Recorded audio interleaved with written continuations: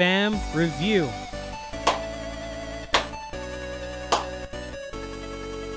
Hey guys, World Eater here.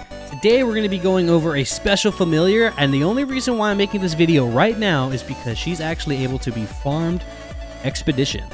Right now we have the Battle Bards event going on, and if you hit play here and check out on the left side, you'll see this purple portal.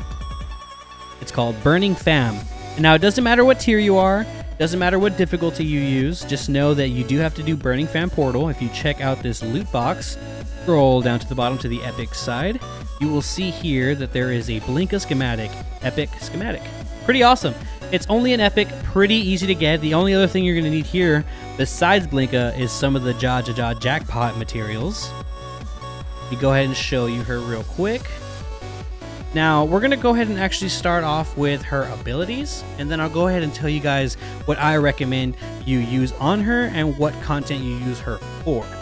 So to start off, she just has an attack closest, which is pretty basic. A lot of familiars come with this ability. Uh, nothing special, but it is her only damaging ability. Let's go ahead and go on to her second ability, which is Unbreaker. This is her main ability in my opinion. Um, it pretty much full shields your whole team and it's only 1 SP. She will top you off all the time. Um, most of the time, she's going to be able to get all those shields off before the enemy really, really gets to drop your, your health too, too low. So you're not really going to be using any of these other abilities too often.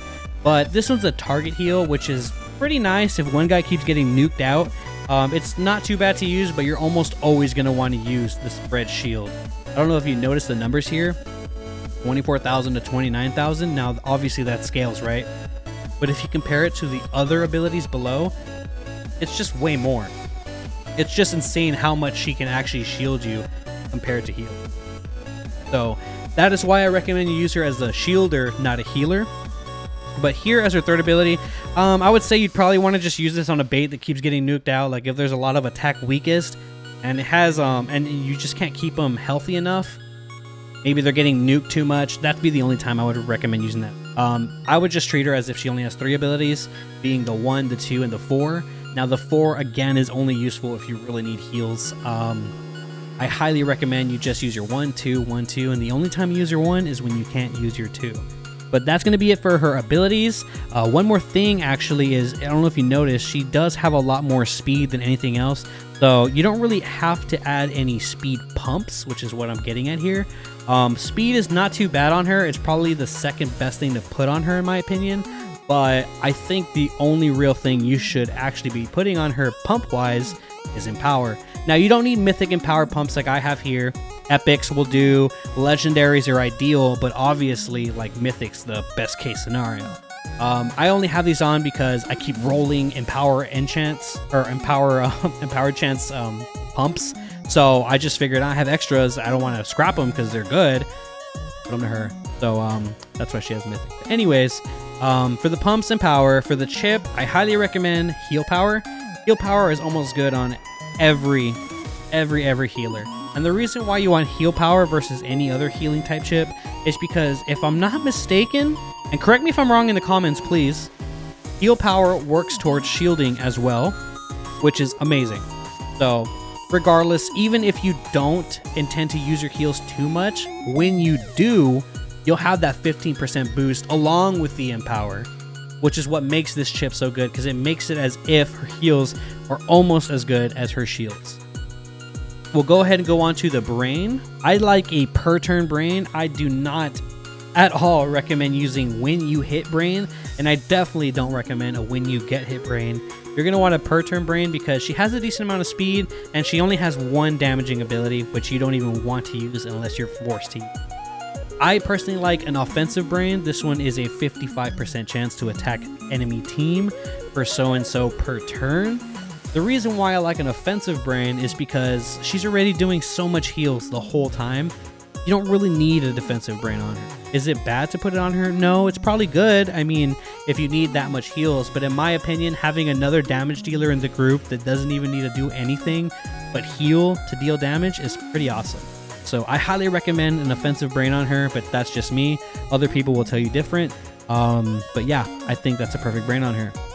Now let's go out to the last piece, which is the skeletal lining. I always put this on healers because I feel like your heal is pretty much always on an SP skill.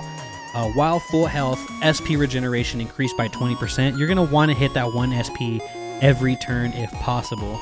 You're going to want to have as much shielding as possible in the game. Anytime you're just doing your um, your basic attack, which is just your one, it's kind of a waste of a turn for her in my opinion. This will help kind of reduce that. So that's why I really, really like this on her. But yeah, it's Blinka. Pretty simple, familiar to get. She's just an epic. Let me go ahead and show you where you guys can get her real quick. So you guys can get her from Expedition, I'm sorry, but you're going to have to come to tier 10, I believe. Yes, Broken Abyss is tier 10. And you will be farming about 12 to 14 of her. That way you can make two plus fives. I recommend you always plus five every familiar, no matter what. Um, there's not a scenario where you won't do that or where I won't recommend you doing that. So just always think of it as I need to make six. I need to make six minimum.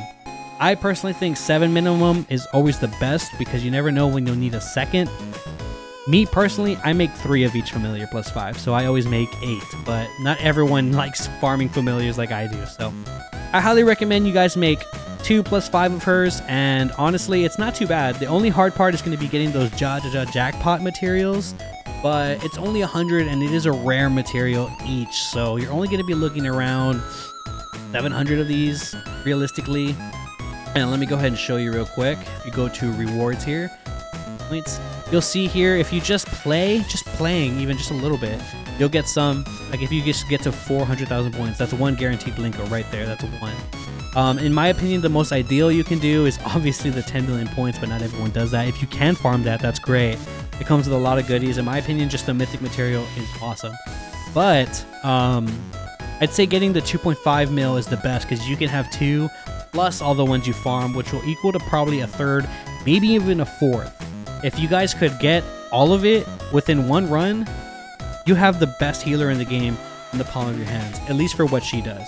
She's the best shielder, she's a decent healer, and she has decent speed for per turn for per turn brains. She's honestly solid. She's all around solid. Now, there's another familiar that can replace her, but that's going to be another video, guys. If you have any recommendations on builds for Blinka, anything at all, leave them in the comments. If you guys honestly just, I don't know, want to help people out, leave some tips in the comments. You guys can do that as well. If you guys have any questions, leave them in the comments. Anything at all. I'm always down to hear y'all out. Thanks so much for stopping by. This is World Eater. Have a great one, guys. Peace.